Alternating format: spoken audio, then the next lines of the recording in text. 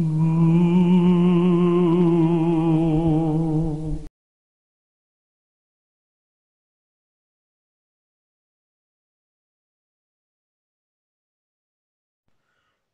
hello there, YouTube, and welcome to a brand new episode of Horigin Files. I am Random Ross, and this is the show where I give you a rundown on horror icons from characters, mainly monsters or killers or whatever. Anyway, this month we're going over one iconic killer, and that is Ghostface. It's a screamer, baby!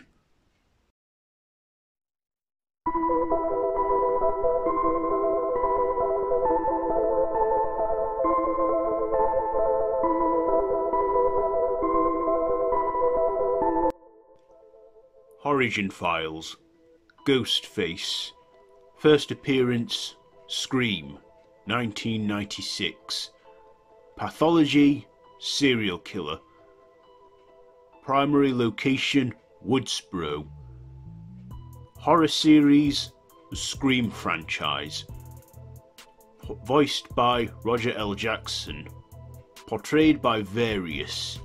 Created by Kevin Williamson Ghostface is a serial killer that primary, primarily centers in the fictional town of Woodsboro in California, where, using the trivia and knowing of horror movie tropes, including classic slasher series such as Halloween, A Nightmare on Elm Street, Friday the 13th, and many others, Ghostface taunts their victims through that knowledge letting them live if they can answer questions correctly, or even toying with them, making them think that he that they are in the killer's own movie and the killer itself is the director, even making some of the protagonists of that series aware that they are in indeed a scary movie or a franchise as they put it. The events of the first Scream movie were eventually made into a movie called Stab, and then in that Scream franchise, that went on to be known as the Stab franchise.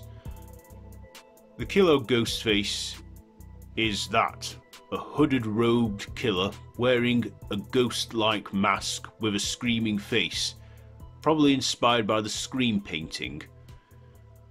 The signature weapon that Ghostface tends to use mostly is a hunting knife, but can range from others as we've seen before in many of the other films, and has gone on to be in six films and a short lived television show. And also disguises his voice with a cloaking mechanism. And many people have died at Ghostface's hand, but for a while, for at least four films, three characters survived the infamous killer Ghostface many a times, them being Sidney Prescott, Gale Weathers, and Dewey Riley. But of course, in the fifth installment of this series, Dewey met his demise and was killed and was handed over to a new generation of characters, them being the Carpenter sisters, Sam and Tara, and the Meeks twins, who are the niece and nephew of Randy Meeks from the first two movies.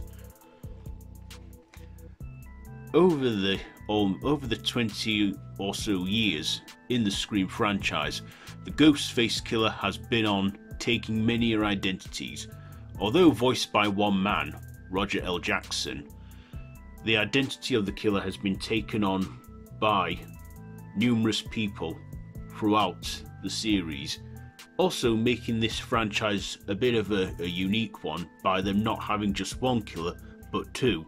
In the first Scream film, the two that took on the identity were friends Billy Loomis and Stu Macher played by Skeet Aldridge and Matthew Lillard. In the second film, the killer's identity was taken on by Mickey Altieri, played by Timothy Olyphant, and Mrs. Nancy Loomis, Laura Metcalf, Metcalf, in the second Scream film, and in the third one, the killer's identity was Roman Bridger, played by Scott Foley, the only Ghostface to go solo. In the fourth film, the identity was took on by Jill Roberts, played by Emma Roberts, and Charlie Walker, Rory Culkin. In the fifth film, the killer took uh, identity was Amber Freeman and Richie Kirsch, played by Mikey Madison and Jack Quaid. By the sixth film, we had three Ghostface killers, them being Detective Wayne Bailey, Dermot Mallory, and Ethan, Jack Champion, and Quinn, Liana Liberato. All of these killers have always had a connection to our protagonists in the Scream franchise and have all had their motives for killing, but constantly mock and go over the tropes and cliches in slasher films. Ghostface is somewhat of a unique killer, as it is not just one person, it's various people that all have an urge to kill and get a thrill out of it whether they just get a fun out of killing and copying horror movies, using horror movies to be more creative, or whether it's a grudge they hold against our protagonists.